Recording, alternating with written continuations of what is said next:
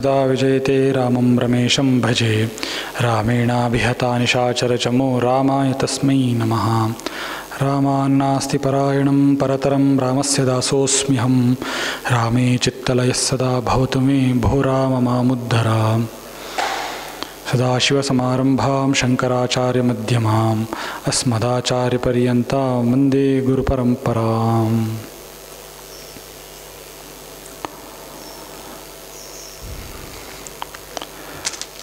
ಆತ್ಮಜ್ಞಾನ ಅನ್ನೋದು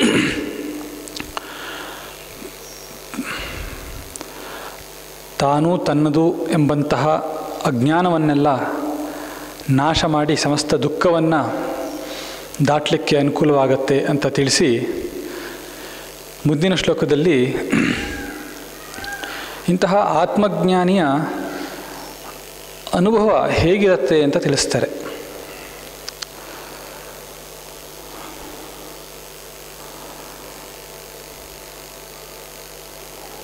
ಅವನ ಜಗತ್ತಿನ ಬಗ್ಗೆ ದೃಷ್ಟಿಕೋನ ಹೇಗಿರುತ್ತೆ ಅಂತ.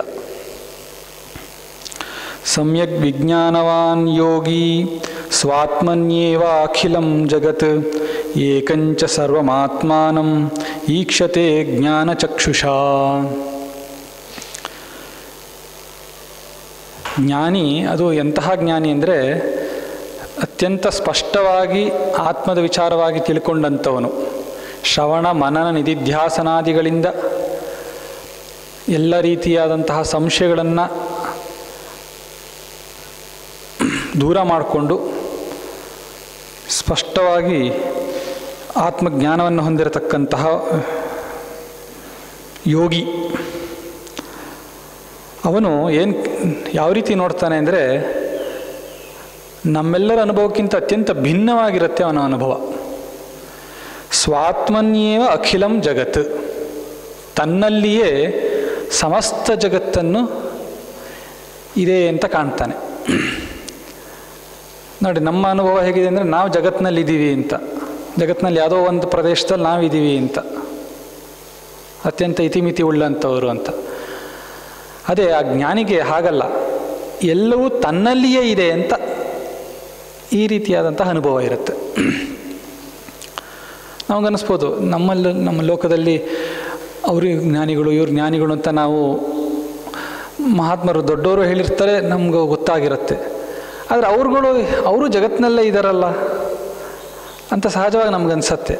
ಆದರೆ ನಾವು ಯಾವ ದೃಷ್ಟಿಯಲ್ಲಿ ಅವರ ದೇಹವನ್ನು ಇಟ್ಕೊಂಡು ಅವರು ಜಗತ್ತಿನಲ್ಲೇ ಇದ್ದಾರೆ ಅಂತ ನಾವು ಹೇಳ್ತೀವಿ ಅಷ್ಟೇ. ಆದರೆ ಅವರ ಅನುಭವದಲ್ಲಿ ಹೇಗಿರುತ್ತೆ ಅಂದರೆ ತಾನು ಅನ್ನೋದು ಕೇವಲ ಈ ಶರೀರಕ್ಕೆ ಇತಿ ಸೀಮಿತವಾಗಿರೋದಿಲ್ಲ. ಅವರ ಅನುಭವ ತಾನೂನು ಸರ್ವವ್ಯಾಪಕವಾದಂತಹ ಆತ್ಮಸ್ವರೂಪವನ್ನು ಕಂಡಿರೋದ್ರ ಆದ್ದರಿಂದ ಅವರು ಎಲ್ಲವೂ ತಾವೇ ಆಗಿರ್ತಾರೆ ಅಂತ ಆ ಅನುಭವ ಇರುತ್ತೆ. ಹಾಗಾಗಿ ಅವರಲ್ಲಿಯೇ ಈ ಸಮಸ್ತ ಜಗತ್ತು ತೋರ್ತಾ ಇದೆ ಅನ್ನೋ ಅನುಭವ ಇರುತ್ತೆ ಅಂತ. ಉದಾಹರಣೆಗೆ ನಮ್ಮೆಲ್ಲರ ಕನಸಿನ ಅನುಭವವನ್ನು ತಗೊಂಡ್ರೆ ಇದು ಸರ್ ಸ್ವ ಸ್ಪಷ್ಟವಾಗಿ ಅರ್ಥ ಆಗುತ್ತೆ. ನಿದ್ದೆ ಮಾಡಿರ್ತೀವಿ, ಒಂದು ಕನಸು ಬೀಳುತ್ತೆ. ಆ ಕನಸಿನಲ್ಲಿ ಅದ್ಭುತವಾದಂಥ ಪ್ರಪಂಚ ಎಲ್ಲ ಕಾಣುತ್ತೆ. ಅಸಂಖ್ಯವಾದಂತಹ ವಸ್ತುಗಳು. ಅದರಲ್ಲಿ ನಾವು, ಅದರಲ್ಲಿ ಪಾತ್ರಧಾರಿಗಳು.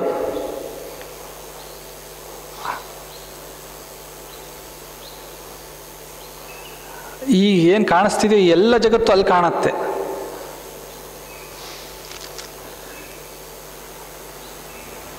ಎಚ್ಚರ ಆದಮೇಲೆ ಎಲ್ಲೋಯ್ತು, ಎಚ್ಚರ ಆದಮೇಲೆ ಯಾವುದೂ ಇರೋದಿಲ್ಲ ಜಗತ್ತು. ಹಾಗಾದರೆ ಕನಸಿನಲ್ಲಿ ಹೇಗೆ ಅಷ್ಟೆಲ್ಲ ದೊಡ್ಡ ಪ್ರಪಂಚ ಇದೆ ಅಂತ ಕೇಳಿದ್ರೆ, ಆ ಒಂದೇ ಮನಸ್ಸಿನಲ್ಲಿ ಮನಸ್ಸಿನಲ್ಲಿಯೇ ಈ ಅದ್ಭುತವಾದ ಪ್ರಪಂಚ ಸೃಷ್ಟಿಯಾಯಿತು ಅಂತ.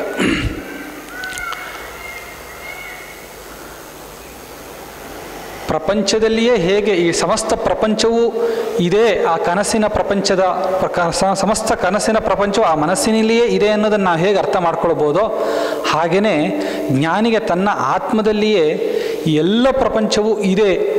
ಕನಸಿನ ಪ್ರಪಂಚ ಹೇಗೆ ತೋರ್ತೋ ಅಷ್ಟೊತ್ತು ಹಾಗೆಯೇ ಆ ಜ್ಞಾನಿಯ ಅನುಭವ ಈ ಸಮಸ್ತ ಜಗತ್ತು ಕೂಡ ತೋರಿಕೆ ಅಷ್ಟೇ ಅನ್ನುವಂತಹ ಅನುಭವದಿಂದ ಅವನು ಈ ಜಗತ್ತನ್ನು ತೋರಿಕೆ ಅಂತ ನೋಡ್ತಾ ಇರ್ತಾನೆ ಅನ್ನೋದು ಇಲ್ಲಿ ಮುಖ್ಯವಾದ ಹೇಳಬೇಕಾದಂಥ ಅಂಶ. ಇದು ನಮ್ಮೆಲ್ಲರ ಅನುಭವಕ್ಕಿಂತ ಅತ್ಯಂತ ಭಿನ್ನವಾದದ್ದು. ಇದನ್ನೇ ಭಗವತ್ಪಾದ ಶಂಕರರು, ವಿಶ್ವಂ ದರ್ಪಣ ದೃಶ್ಯಮಾನ ನಗರಿ ತುಲ್ಯಂ ನಿಜಾಂತರ್ಗತಂ ಪಶ್ಯನ್ನಾತ್ಮನಿ ಮಾಯಯ ಬಹಿರಿವೋದ್ಭೂತಂ ಯಥಾ ನಿದ್ರಯ ಅಂತ ಹೇಳಿದ್ರು.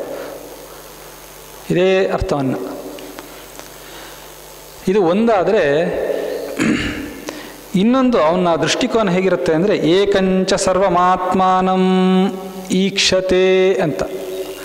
ಸಮಸ್ತ ಭೂತಗಳಲ್ಲಿಯೂ ಕೂಡ ಅವನು ಒಂದೇ ಆತ್ಮ ಇದೆ ಅಂತ ಅವನ ಒಂದು ದೃಷ್ಟಿಕೋನ ಇರುತ್ತೆ.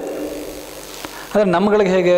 ನಾನು ಬೇರೆ, ಇವ್ರು ಬೇರೆ ಇನ್ನೊಬ್ಬರು ಬೇರೆ, ಅವರಲ್ಲಿ ಬೇರೆ ಆತ್ಮ ಇದೆ, ಇವರಲ್ಲಿ ಬೇರೆ ಆತ್ಮ ಇದೆ, ಇತ್ಯಾದಿ ಇತ್ಯಾದಿ ಎಲ್ಲ ನಮಗೆ ಅನು, ನಾವು ತಿಳ್ಕೊಂಡಿರ್ತೀವಿ. ಆದರೆ ಅದು ಸರಿ ಇಲ್ಲ, ನಮ್ಮೆಲ್ಲರಲ್ಲೂ ಇರತಕ್ಕಂಥದ್ದು ಇರೋನು ಒಬ್ಬನೇ ಆತ್ಮ. ಅನ್ನೋದನ್ನು ಜ್ಞಾನಿಯಾದವನು ತಿಳ್ಕೊಂಡಿರ್ತಾನೆ ಅಂತ ತಿಳಿಸ್ತಾ ಇದ್ದಾರೆ.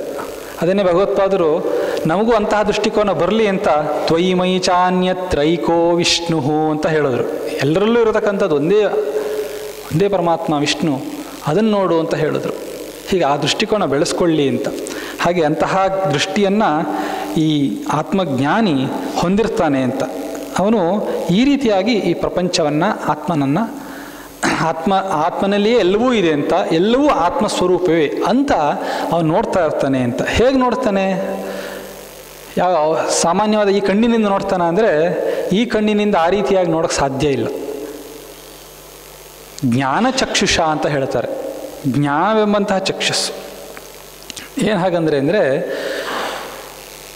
ಗುರುಗಳು ಅಂದರೆ ಜ್ಞಾನಿಗಳು ಮತ್ತು ಶಾಸ್ತ್ರಗಳು ಏನು ಹೇಳಿರತಕ್ಕಂತಹ ಈ ಅತಿ ಸೂಕ್ಷ್ಮವಾದಂತಹ ಆತ್ಮ ವಿಷಯವಾಗಿ ಹೇಳಿದಂತಹ ವಿಚಾರವನ್ನು ಅನುಭವಕ್ಕೆ ತಂದುಕೊಂಡು ಯಾರಿರ್ತಾನೋ ಅವನ ಆ ಅಂತಹ ಒಂದು ಜ್ಞಾನದಿಂದ ಇದು ಈ ರೀತಿಯಾದಂಥ ಅನುಭವ ಬರಲಿಕ್ಕೆ ಸಾಧ್ಯವಾಗತ್ತೆ ಅಂತ ಹೇಳ್ತಾರೆ. ಅಂತಹ ಜ್ಞಾನವೆಂಬಂತಹ ಕಣ್ಣು ಅದು ಮುಖ್ಯ. ಹಾಗಾಗಿ ಆ ದೃಷ್ಟಿಯಿಂದ ನೋಡಿದಾಗ ಈ ಸಮಸ್ತ ಪ್ರಪಂಚದಲ್ಲಿಯೇ, ಸಮಸ್ತ ಆತ್ಮ, ಆತ್ಮನಲ್ಲಿಯೇ ಈ ಎಲ್ಲ ಪ್ರಪಂಚವು ತೋರ್ತಾ ಇದೆ. ಮತ್ತು ಎಲ್ಲವೋ ಎಲ್ಲ ಭೂತಗಳಲ್ಲಿಯೂ ಕೂಡ ಆ ಒಂದೇ ಆತ್ಮ ಇದ್ದಾನೆ ಅನ್ನತಕ್ಕಂತಹ ಅನುಭವ ಹೊಂದಿರ್ತಾನೆ ಅಂತ ಭಗವತ್ಪಾದರು ಈ ಶ್ಲೋಕದಲ್ಲಿ ತಿಳಿಸ್ಕೊಡ್ತಾರೆ. ಸಮ್ಯಕ್ ವಿಜ್ಞಾನವಾನ್ ಯೋಗಿ ಸ್ವಾತ್ಮನ್ಯೇವ ಅಖಿಲಂ ಜಗತ್, ಏಕಂಚ ಸರ್ವಮಾತ್ಮಾನಂ ಈಕ್ಷತೆ ಜ್ಞಾನಚಕ್ಷುಷಾ.